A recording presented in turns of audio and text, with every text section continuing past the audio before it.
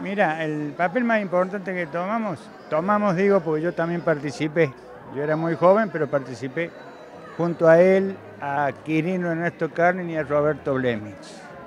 Ese eh, fue la idea de crear una emisora de circuito cerrado que ya la tenía Carlin en la mente, a la idea. Entonces, bueno, nos juntamos eh, en una mesa de café y salió la sociedad. Carlen ya tenía visto dónde fabricaban los equipos para poner un emisor de circuito cerrado, que lo fuimos a buscar a Pergamino, con Roberto Blemen y con Carlen, mi padre se quedó en esa época, este, porque no cabíamos en el rastrojero que íbamos los tres a buscarlo. Y la radio arrancó el 13 de marzo de 1976. Lamentablemente Carlen mm, se nos fue al poquito tiempo, no sé si habían pasado 90 días, y bueno, hubo que seguir, hubo que seguir y se siguió, y no hubo otra alternativa, ¿no es cierto?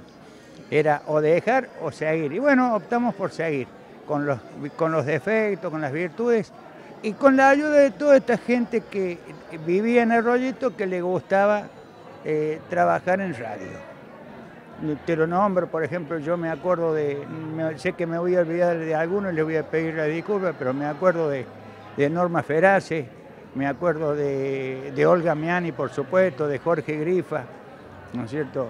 De, los operadores, el eh, Beto Fonti, que era operador de Pirucho Vergunzo, de Eduardo Vergunzo que hacían un programa de música moderna que era una locura como se escuchaba. Y bueno, este, qué sé yo, son esas cosas que se, continúan en la vida. Lo más importante de todo es que ahí salió una gran amistad con Roberto Blem y con Carlen, lamentablemente no lo pudimos disfrutar porque Carlen era el que sabía de locución, era periodista, sabía de todo, ¿no es cierto? Pero bueno, ahora eh, eh, seguimos agradeciendo a la gente que nos llevó a hacer la transmisión, a, comprar la radio, ¿no es cierto? Que nos ayudaron mucha gente, que bueno, no vale la pena nombrarlo, pero que eh, todo eso se formó en el rollito en el año 75, fines del 75, y en marzo del 76 arrancamos con la emisora. Diego, buenas noches. Bueno, un acto muy emotivo, todas las personas que fueron pasando, familiares de los pioneros de la radiofonía, entre los cuales está tu papá, uno de los más nombrados. ¿Qué significó esta noche para ustedes? Mira, todavía estoy muy emocionado. Eh, no, la verdad que es una alegría, como decía Roberto en, la presentación, que se hayan acordado de los que ya no están y bueno, que se haya nombrado, bueno, al viejo, porque uno se siente identificado con él. La verdad que a los dos Gustavos eh, agradecerles por, por acordarte del viejo y a todos los que ya no están y hacer este, este homenaje.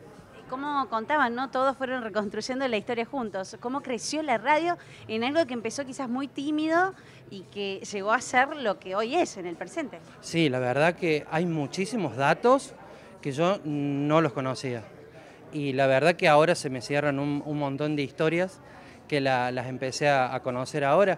Por ejemplo, que María José, la viceintendente, nieta del que, de un orfindo que confió en mi papá, que mi papá es de la Francia, confió, vení, lo adoptó, lo acobijó eh, cuando no tenía donde dormir y garante para los departamentos y todo, así que hoy me enteré eso, así para que es una emoción doble todavía eh, haberme enterado de eso. Y bueno, nada, eh, encontrar con un montón de, personas conocidas que hace mucho que no, que no lo veíamos. Y nada, agradecerle a Gustavo Pavón, a Gustavo Benedetti, el intendente, por este reconocimiento, de verdad.